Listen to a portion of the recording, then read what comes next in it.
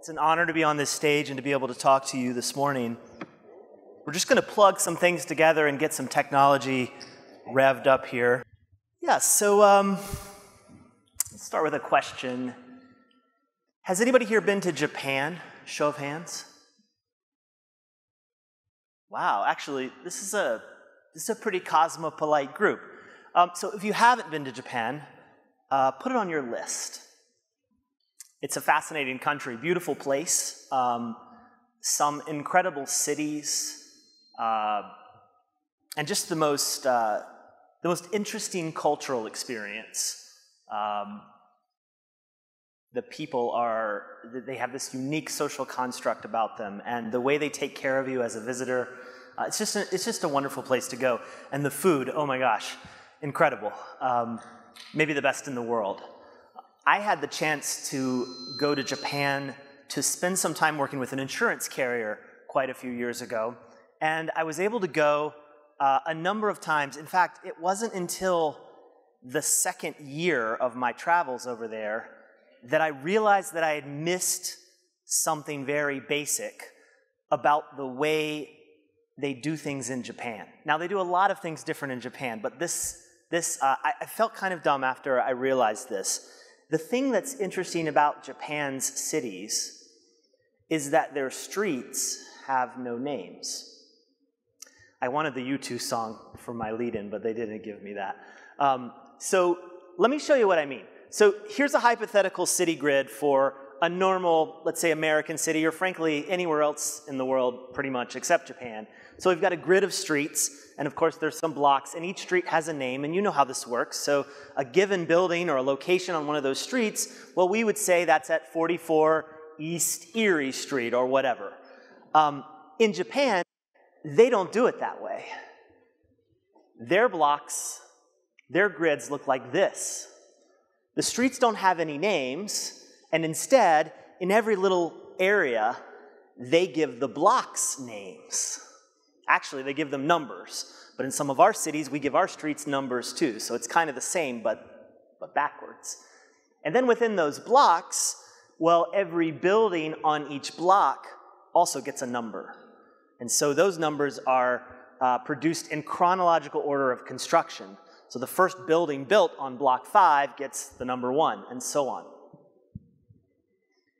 And so when you write an address of a location in a city in Japan, it looks like this.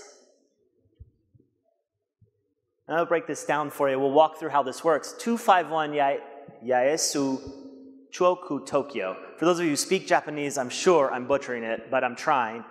Um, Actually, this is the Americanized way. They actually write it backwards. They go from most general location to most specific. So let's do that. Here's Japan.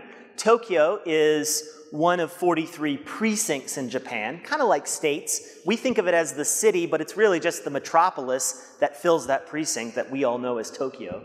And then inside Tokyo, there are quite a few cities um, maybe a little bit like boroughs in New York or something like that. And so Chuo City is our city. You can see it there. And then Yaesu is like a, like a ward within the city, a smaller subgrouping. So we're zooming in here, and there's the, the famous Marunouchi train station right in the heart of Tokyo. And then within Yaesu, we have this 251 number.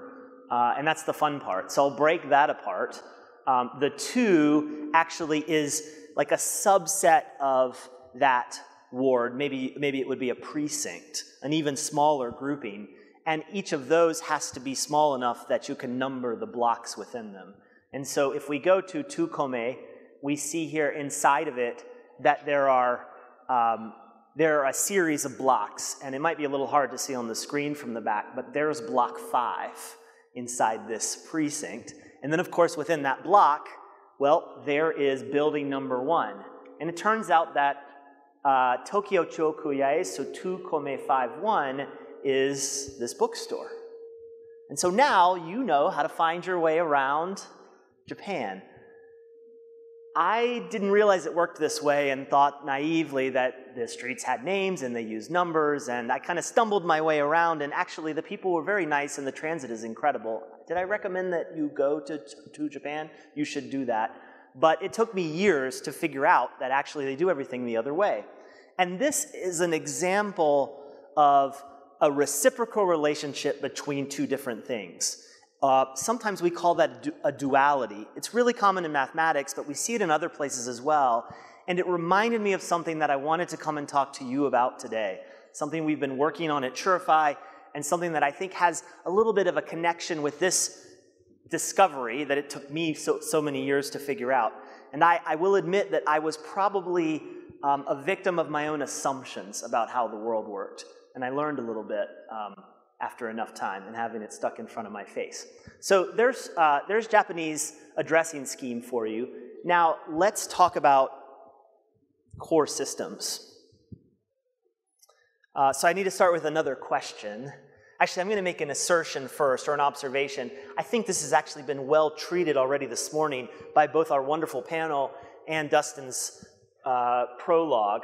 But, um, but if you ask you guys, insurance carriers, life insurance and annuity carriers, what's on your mind? What are you working on? What's the priority? Or even if you go find professional askers like analyst firms and they go ask you all, the resounding answer right now is that digital enablement is the number one priority at the average life and annuity carrier. Now, it might be your number two, or you might be one of the rare few that's just knocked this out of the park. But by and large, most of us are working very hard and grappling with this challenge and this opportunity.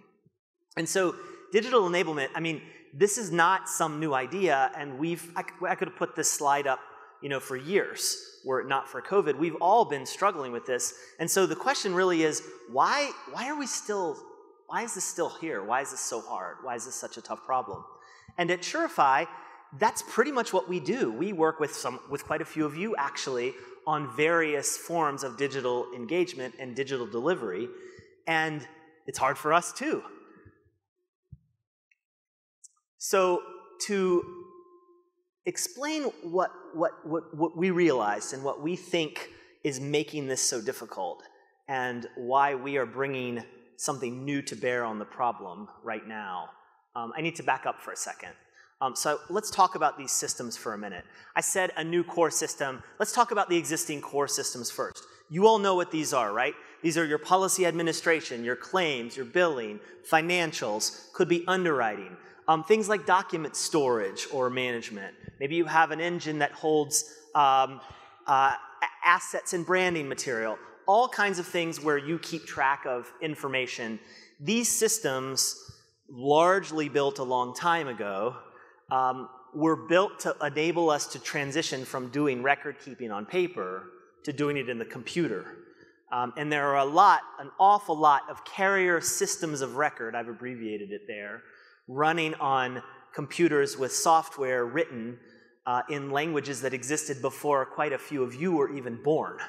Um, which I think is, is, is, interesting. We could also do, uh, we could also argue that these systems have very high inertia even if they are at very low velocity right now, uh, it's very hard to make them move or go or, or go anywhere. And yet, we love them, right? Yeah? No? Maybe? Thumbs up? We love them in a special way, at least, because our businesses depend on them. We can't run our, we cannot, the, the carrier can't run without those systems, and they really have stood the test of time. And there are an awful lot of great people in this building this week working on building the next versions of these systems. And so that's well and good and not something we do at Sureify. But I will just note that if we were to do, have you ever been to one of those weddings where, um, where everyone stands up and then they call in kind of reverse order how long you've been married, and then people start sitting down?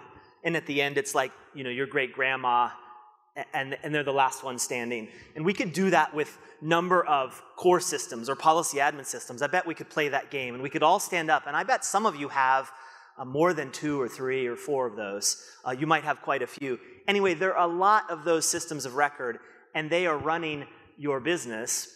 And if I can just uh, pick at them just a little bit, when we think about digital, there are some challenges that a lot of those systems impose. Um, one of them is that adding new interfaces to them, if they can't already expose information and process, can be very difficult and expensive. Sometimes in money, sometimes in time. Sometimes it can be impossible if you don't have the source code and you don't have anybody who can work on it. Um, and so extending them is difficult. Um, they also uh, they, they, tend to have latency, and by that I mean technical latency. We ask them a question over one of those interfaces, and it might take them a while to come back with an answer. And latency is very uh, is is uh, is a challenge in a digital world where users are not used to that. And so, can they answer questions quick enough is one thing. Um, a lot of these systems need uh, need a rest, kind of like me. Uh, I'm getting old, and I like to take naps, and so do they. And that's okay. It's very reasonable for them to go into a quiescent period at night to reconcile, or maybe down for maintenance and updates on a regular basis. But out in the digital world, um, it's pretty rare for Amazon.com to go down, and people have different expectations. And so these systems have an uptime challenge sometimes. And then uh, one other thing I'll point out is elasticity. Um, demand dynamic is very different for core systems than it is for digital, right? In, in the digital world, we could have a quiet period, and then you could put the right commercial on the Super Bowl, and suddenly we have two or two and a half orders of magnitude more load on our front end than we did a moment ago. Um, and that is not something generally that these record keeping systems were engineered to solve. And so, overall, I would say, generally speaking, when we look at digital enablement, these red systems were not engineered to solve that problem. And that's okay. That's not their fault, nor is it the people who built them's fault. But they work on a different part of the problem. And so, I would argue that. Uh, that we need, to, we need to recognize that as we look at how we're going to solve this problem going forward. Um, I talked about the wedding game already. You've got a lot of these systems in place, and so if you'll humor my picture, we're over here trying to make these purple things, these digital experiences that you can put out on the edge and give to your customers and to your users and to those humans who are not part of your organization, but who may want to interact out on the internet. And so the question now is, how do we connect these things together? And I would just say that probably the reason we're still all struggling with it is because there is this gaping divide between the expectations of those humans who have been who have learned how systems on the internet behave when they go to Amazon or Google or whatever and get answers at scale really fast any time of the day or night on any device. That's what people expect, right? In retail grade digital experience. And then over here on the other side, we have these red systems of record, which were built primarily in another day and age to solve a very different problem, which they solve pretty well, by the way. And so that is a huge gap between expectation of those future users and the systems we have in place to solve home office problems. And I think fundamentally that's the challenge. And getting these two things to somehow come together is where the rub is in this problem. And so, I'm excited to introduce to you our solution for this problem. We have been hard at work on it for the last a little over a year now, and we are coming to market this week announcing publicly that we are building a platform called Sureify Core Connect. And Core Connect is built expressly to solve this problem, to sit in between one or more digital experiences, including the ones that we make at Sureify, and your systems of record. So, what is Core Connect? It's a digital experience engine for you. It's a vertically focused, purpose built, headless technology running in Sureify's cloud that's designed to bridge that massive gap. And as a CTO at Sureify, I would love to get into all the technical details, but I only have a few minutes. And also, I'm the last thing between you and lunch, which is an unenviable position, by the way. But it does mean I'm going to have to just kind of talk quickly about a few things and then maybe show you a couple things too. So, Core Connect is sitting here in between, and um, you might say, that sounds pretty good, Ben, but pretty dreamy, and people have been trying to do that for a long time, including me with my team. And what are you doing differently, and how's that even possible? And like I said, I'm between you and lunch, and I won't get to show you everything, but I am going to point out a couple of things. So, first of all, um, there are two main uh, components inside Core Connect that let us achieve this magic gap closing. And one of them, does anybody want to take a guess? You all have been pretty shy this morning, and I'm kind of more of a Socratic methods person. Anybody want to guess what, what magic technique number one is? There might be a prize. Nobody? Come on, just yell it out. APIs, good, good guess. Nope. Um, good one though. We got those too. Um, it, it would have been tough to guess this. Asynchrony. So I got to let you in on a little secret. Tech nerds, we like to use fancy words. It's sort of a way of uh, compensating for our other social inadequacies. So we just use fancy words when we could have said some other simple thing that would have been much easier and everyone would understand. Um, but this is a term of art in, in computer science. This concept of asynchrony is at the key to CoreConnect's uh, technical design. And all this means is we're going to ask the computers to do the hard work ahead of time while the future humans who are going to log into that digital experience tonight or tomorrow or next month or next year while they're off doing something more fun. I don't know what you were, did all of you, if, if you got in last night, I don't know if you went to bed early or if you hung out in Vegas for a while, um, but whatever you were doing, you probably weren't computing the answers that your policyholders or your agents need when they come to their digital experience today. Um, but that is how Core one of the tricks that Core Connect uses is it asks, it actually requires that these systems on the right, those systems of record, preload all the insurance data into Core Connect ahead of time. And so we do that out of band without bothering the humans who we care about and their precious time and their energy. We do it ahead of time because computing is cheap. So essentially, we push all that data into Core Connect and buffer it. It's a little bit like a content delivery network for life insurance and annuity data. And I'm going to have to gloss over it, but both business data as well as large objects like documents and assorted files are all buffered into the edge on Sureify's cloud platform in order to have those answers ready to answer to, to be responses to questions that people ask on that digital experience. So, would you like to see that? Okay, let's do it. Um, to do that, I have to introduce a new product because we didn't just invent Core Connect um, to serve uh, policyholders. We knew uh, quite a while ago that we wanted to build a dedicated experience for agents, advisors, and those in the intermediate channel. Um, and so I'm also excited. I guess the, the uh, somebody stole my uh, thunder earlier, but we are also excited to announce this week our new product, Lifetime Agent, which sits on top of this Core Connect engine.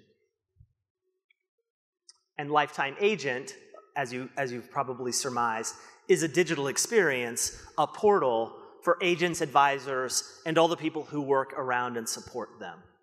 And I'm going to show you an early peek at that now. I think. So, can you see my browser? Yeah, a little bit there. Um, so I am logged into Lifetime Agent. This is running in our cloud, running with our Core Connect, and I'm logged in as agent, uh, an agent named uh, Philippa, Philippa, um, and she's uh, a pretty good agent. She um, I, I, wish I had time to show you all this, but lunch is also calling, and so I can't show you all the features in here. But if I just scroll down, you can kind of see she's logged in and she's got a dashboard that shows her a whole bunch of information. She's got open cases, maybe some alerts. She's got some aggregations over her book of business, maybe some financial roll ups, maybe documents, marketing material, whatever is relevant to, to have on this dashboard. This is a real working system working against a real Core Connect instance, but Sureify is not a life insurer. So we don't have all of those red boxes. We're not running those. We simulate those in this demo. They are feeding simulated data into Core Connect. So you're seeing the real experience that you would get if you had fed the same data in from your systems. We're just not running those systems, but this is the real system. And so one thing that I'll point out um, is if I go into her book of business and go down to policies, um, I'm just gonna I'm gonna make this a little bigger so you can see it. Um, you can see here kind of a table view of the policies that she has access to. Oops, better make it a little smaller. And the headline's kind of buried, but if you look way down here in the bottom, I don't know if I can zoom in.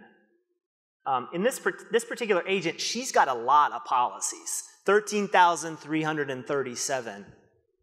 Um, and and so, so maybe she has a large downline in this example. Um, I don't know, but we wanted to push the system a little bit to kind of show you what it's capable of.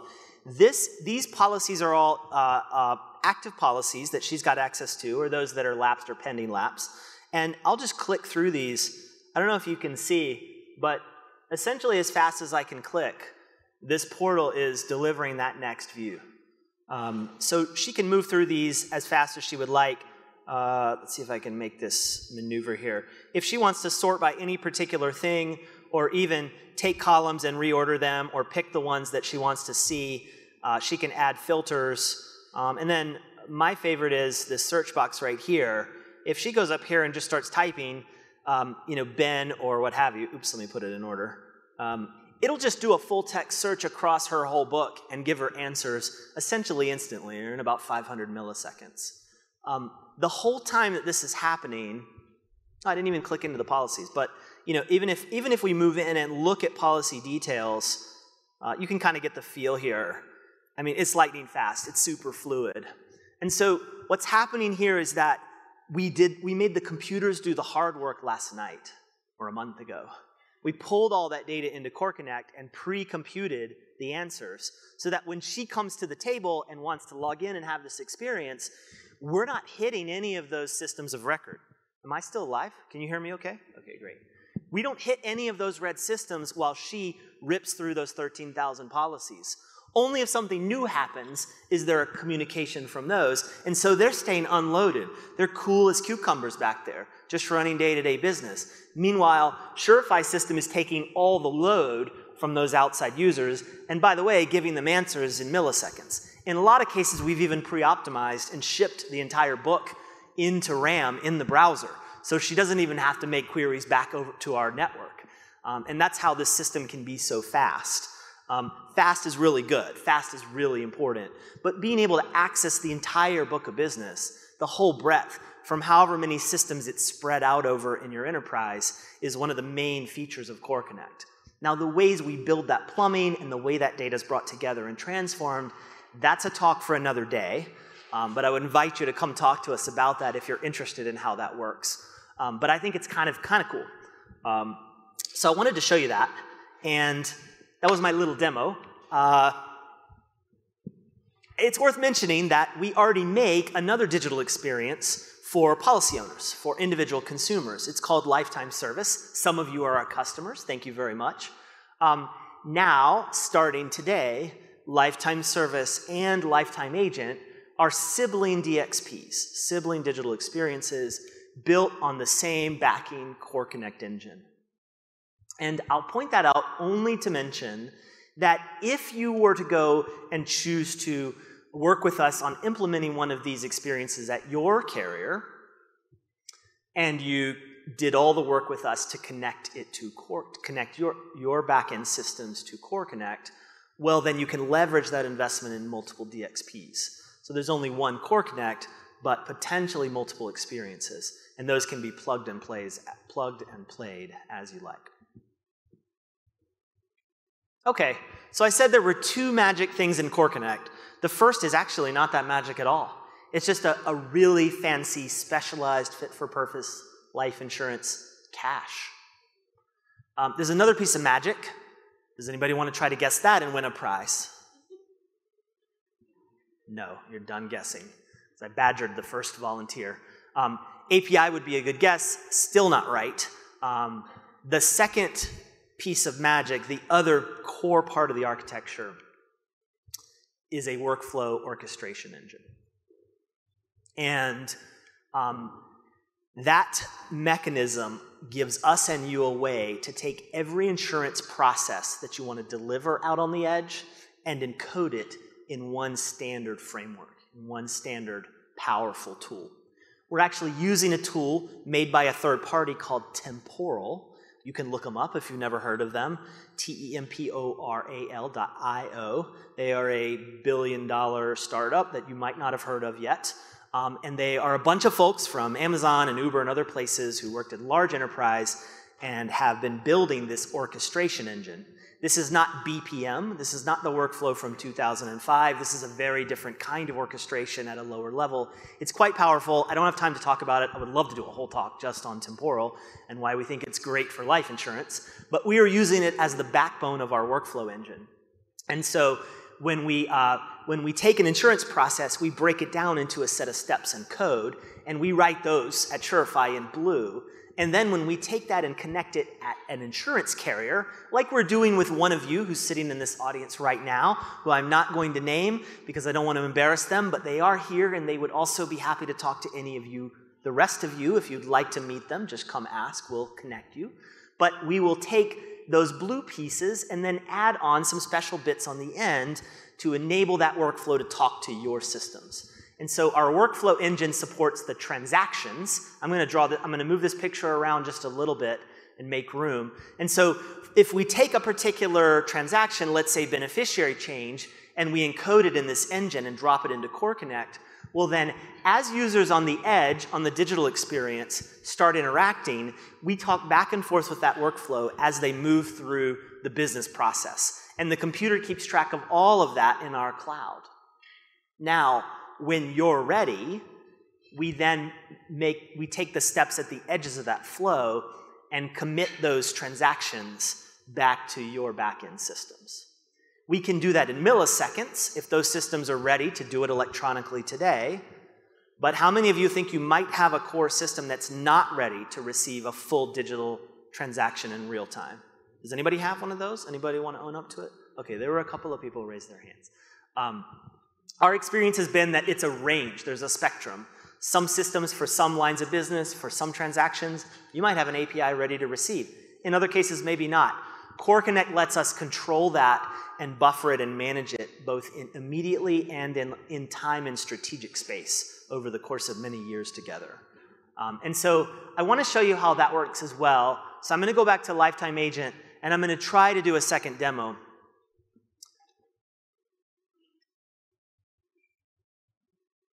And you might be wondering why, there we go, why I have this, this beautiful piece of legacy technology up here.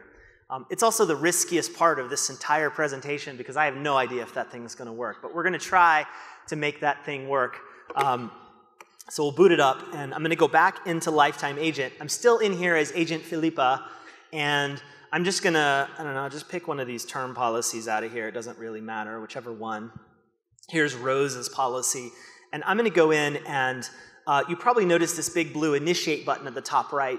This is our context sensitive action button that can dynamically adapt based on wherever the user is in the system and gives them all the things they want to do. And in this case, we've got a couple of different transactions loaded up. I'm going to do a change of beneficiary. Um, and so I'm going to click that and open it up. And behind the scenes, what has happened here is that Core Connect has received that request and has, has built an, a change beneficiary instance for Philippa for this policy for this change.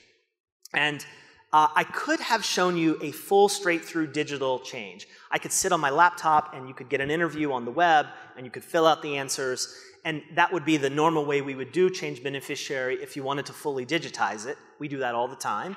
But you've seen that kind of interface before, and I thought I would show you something a little different with a little bit of a twist to give you a sense of the kind of things you can do when you have a platform that, let, that gives you a lot of options to, to do things in unique ways. And so in this particular case, humor me, at, for this carrier, at least for this line of business, this agent is going to receive a piece of paper.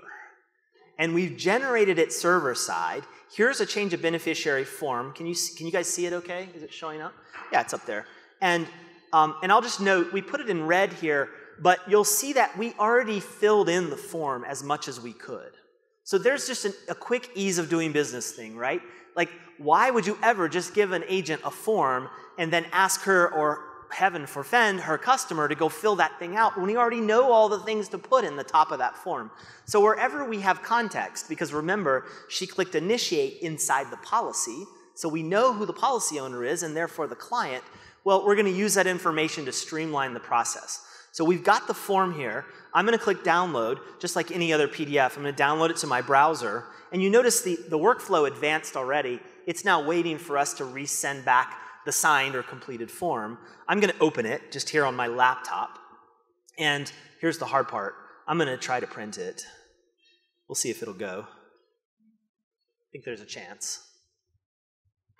Oh, it's blinking. Um, so, uh, so does this seem weird? I mean, I'm up here. I'm a technology guy. We're at a digi- we're at a conference about tech, and I'm talking about digitization. And here I am showing you something with a dead tree and some pigment. Um, but the reality, also, I think, is that paper or some proxy for paper is going to be with us for a long time to come.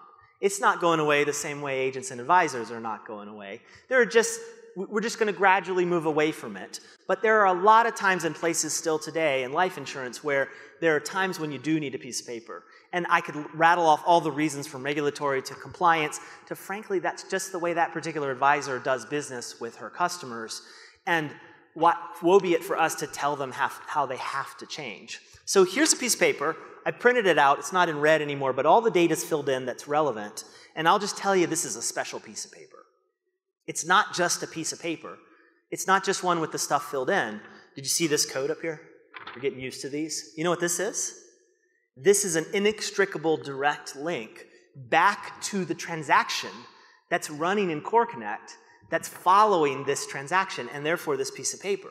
And so the computer at Sureify knows that Philippa is, is trying to get this process completed and has moved to paper to do it. And so I'm going to do it. I brought a big red pen, and I'm just going to sign, probably put myself as a beneficiary, and uh, I'm going to go. I'm going to switch devices, or I'm going to try anyway. We'll see if it works. Um, let me share it so you can see my phone on the screen. Okay, so now you can see my phone. Don't make fun of it. I have weird apps. Um, but I, am still, I'm still pretending to be Philippa. I'm going to open my camera, and now I'm in the field. Can you guys see you see that? Oh, yeah, there you go. Say hi. Wave to all the remote attendees. How many do we have, by the way? Do we know? 12? Thanks, Dustin. Um, all right, so I'm going to grab this QR code and I'm going to launch in. Now, Philippa is already authenticated on Lifetime Agent on her phone. Oh, no, she's not. She's getting ready to log back in. Let me try that again It's all these logins and timeouts. It's, so annoying. There we go. Okay. Now I'll take the picture. So now, via that code, I've come back into the exact same spot in the transaction, just in a mobile view. It's kind of skinny up there, sorry, hard to read. But it is a mobile responsive experience. All of the Sureify experiences are. And so now you can see it knows that I'm on that same second step. And I've moved the transaction over to this device. But behind the scenes, it's being managed in that cloud instance of Core Connect. And so I'm going to take, uh, I'm going to scan it with my camera. I'll do a slipshod job of that. And then I can just select to use that photo. That's going to get pushed up to the cloud, and you'll see in just a moment, now it's showing me that image. You know, I can zoom in and make sure it's what I want, or I can do this on the desktop. Um, and then I can hit submit, and if I had had my Wi Fi working and had been signed in, I could have done that demo in 12 seconds instead of 70. But it was pretty straightforward, right? We went from desktop to paper back to mobile. And now, if I were to jump back to my desktop and come back in here and just refresh this page, um, as you might expect, this transaction is going to rehydrate with all the data once the internet catches up. It's a little dicey in this room. There you go. And you can see it's now caught up in here as well if for some reason she came back in and wanted to watch it over here. Um, you can also back up, by the way, and see all the previous steps. That's all supported, but in this case, I just did a straight through. So this is a little fictitious, sort of simulated workflow, but hopefully it gives you a feel for some of the things you can do with Lifetime Agent and with Core Connect. You can move around at will, and you can engineer process over the top of all those systems. Um, and so I think that's pretty exciting. Couple more slides. Um, I just want to point one thing out about that workflow engine and what you saw. Something really important to the design and something to think about um, whether you decide to do something with us one day or build something like this yourself. Um, one of the key things about Core Connect is that when you're working with these workflows, there is a really nice boundary here between the retail or digital edge experience and those core systems. And that boundary creates a happy separation. It's like a good fence that makes good neighbors. It allows the experience out there on the edge not to be dictated or constrained by the system of record limitations behind the scenes. I'll be honest with you, advisors, they don't care about the system mess behind the scenes at any carrier. And consumers don't even understand that there's a mess for the most part. They just want to get online and do their stuff and get on with their life. And, whoa, I'm out of there. Uh, that was cool. Um, and so, one of the things Core Connect does a really good job of is it buffers away the edge and the experience from the systems. If the systems aren't ready to take it electronically, no problem. You can still roll it out on your DXP, and then we'll send it manually, or it can be put in a queue for processing or you can use an RPA to ins insert it into your CICS mainframe application. Whatever you need to do, you've got a lot of options, not just straight through and not just synchronously tied. And that separation of concern is at the heart of the technical design, and it's one of the ways that it unlocks the option to move forward quickly and efficiently in time and space with this problem. Hope that makes sense. Um, we have just a couple of minutes left and I want to take a couple of questions. So I've tried to prime you by inducing you to do things. I have one autographed piece of paper with a CTO signature on it as a prize for the best question. Does anybody have a question? Let's see if there are any from the live audience first. We have mic runners. Does anybody have a question? Okay, we got several over here. We'll run them. Oh, one over here. Okay. Take one wherever. Yeah, go for it, Chris. Thank you uh, during that paper process, is there a reason you wouldn't also offer that as a digital e-signature? Absolutely. In fact, there's a whole bunch of hybrid options on the spectrum from raw paper to pure digital, right? One thing that I didn't show is that that form that we pre-fill part of is still fillable. So maybe that's one step you would take is just fill the rest out on your computer. I kind of did it on paper for, for theater, but you could totally do that. The next step up from that, of course, would then just to be do e-signature, which is very commonplace. But there are still times and places where e-signature is either not acceptable or not viable or just not desired. So yeah, you have the full range at your disposal. And of course, obviously the, the creme de la creme is just straight through digital. Maybe you generate a form on the back end for regulatory reasons, but then you know the signature is almost you know, is, is, is not even, that is kind of a second show. Um, so you have the full range there. Um, this was just trying to show one of those edges. It's a great question. You don't win the autograph, though. It was, it was a good one, though. Another question? Yeah. Hi. How do you deal with the business rules? Good question. Yeah, what, what happens with business rules? That could be another 40 minute talk. So we probably should chat at lunch. Um, there are a lot of places where rules and logic have to be embedded in that chain. And I didn't show where those are, but one of the big focuses in Core Connect is on creating well defined places where those rules can exist safely and be managed over a long time. Because you see, we're building Lifetime Agent Service in Core Connect to be a generational system, not just a website you slap together and turn on digital this year, but actually something that can be treated as important and sacrosanct to your business as those core systems that we all know and mostly love. Um, we think there's room to do that there, and the only way to do that in the long run sustainably is to create good boundaries. And so down on the, ba- on the bottom feed, where data comes through into that asynchronous model, there's a pluggable place for the logic that combines and coheres that information. And similarly, at the workflow level, you can drop logic into those workflow steps to control and compose the experience and to apply carrier or product or distribution or channel specific business logic. So um, obviously, you know, we've been working on this a year. We'll be working on this for many more years, and you'll probably see us embolden that and get more detailed about how that works in the, in the quarters and years to come. But built in at the lowest level is the notion that we can keep those things separate and carefully managed and then upgraded over time. This is another good question. One more. Okay, I'm at the I'm at the buzz. I'm going to get the, the hook, but this um, is how are you dealing with uh, unstructured notes or data that are stored in these core systems that associate the policy that they would need to reference on the UI that you had up? Great question. Unstructured data, manuscript endorsements, all those kinds of things. They're pretty similar to large objects like PDFs and paper scans. You know, we don't have computation to directly tell us what those are. So we have to bring those in, instrument them with metadata, and then potentially make them available to the user in a controlled scenario. I think it's a really, it's kind of case by case. The system can facilitate those, but if we don't have metadata, we can't compute over it. And so the best we can do at that point is show it. Um, so we have to be gentle with that stuff. But if you've got a lot of it, and you probably do in some parts of, this, of the world, um, you, will want some facilitation for that because a lot of the information is trapped inside that unstructured information. I don't have a way around the laws of physics there, nothing magic there, unfortunately. Um, could be, sounds like a whole other uh, company could be made to do just that. But, um, but yeah, we have a facility to support the, moving that data around. So that's a great question. I know you have a lot more questions. Um, I would just implore you, come find us. We'll be at lunch, at breaks. Um, we're going to be here all week. Um, please just come see us and talk to us. Uh, ask us questions, throw rocks at the design. Uh, we would really love to have you. I know lunch is coming. Thank you so much. Have a great lunch, a great ITC. Thank you again. Sayonara.